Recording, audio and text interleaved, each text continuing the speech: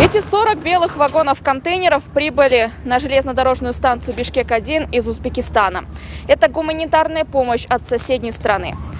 Это модульные конструкции, из которых будут возводить инфекционную больницу. Уже решено, что ее построят на территории национального госпиталя. Груз сопровождал председатель узбекистанских железных дорог Хуснуддин Хасипов. По его словам, это помощь для нашей страны в столь трудное время. Ранее из Узбекистана в нашу республику привезли полторы тысячи тонн пшеницы и медикаменты. Вот эти э, контейнерные домики это опробированный, опробированный э, вариант организации ускоренной создания медицинского помощи э, заболевшим болезнью COVID. И более того, было принято решение, как только будет закончено строительство этих больниц, больниц, с нашей стороны было принято решение о том, чтобы командировать на эти больницы работников, который имеет опыт работы с, э, с э, больными COVID. Э, наши друзья из Узбекистана обещают нам в течение двух недель поставить.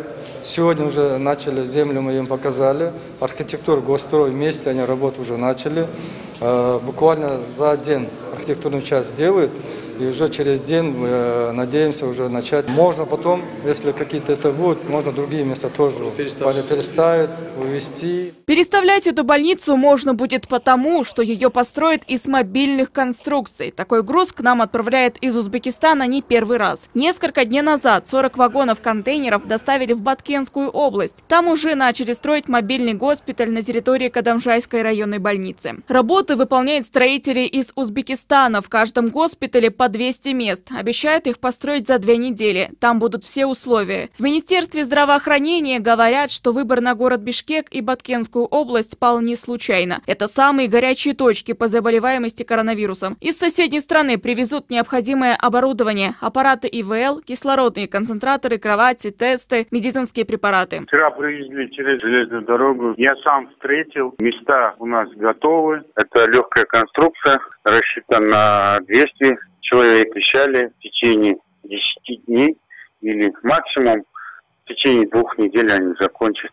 Со всеми этими удобствами они сделали. Также в Министерстве здравоохранения добавляют, ежедневно ведется мониторинг, насколько заполнены больницы. Так, в медучреждениях запланировано более 8 тысяч коек. Свыше 5 тысяч мест сейчас открыты, остальные в резерве. Вот наши специалисты каждый день, когда мониторинг делают, если, например, по области, да, возьмем э, Чуй, Заполняемость открытых коек э, составляет, если больше 80%, тогда мы уже разворачиваем те резервные койки, которые у нас есть.